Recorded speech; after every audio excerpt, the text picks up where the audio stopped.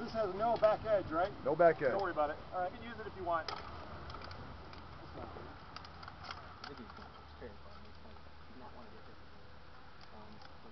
I think he's hanging out.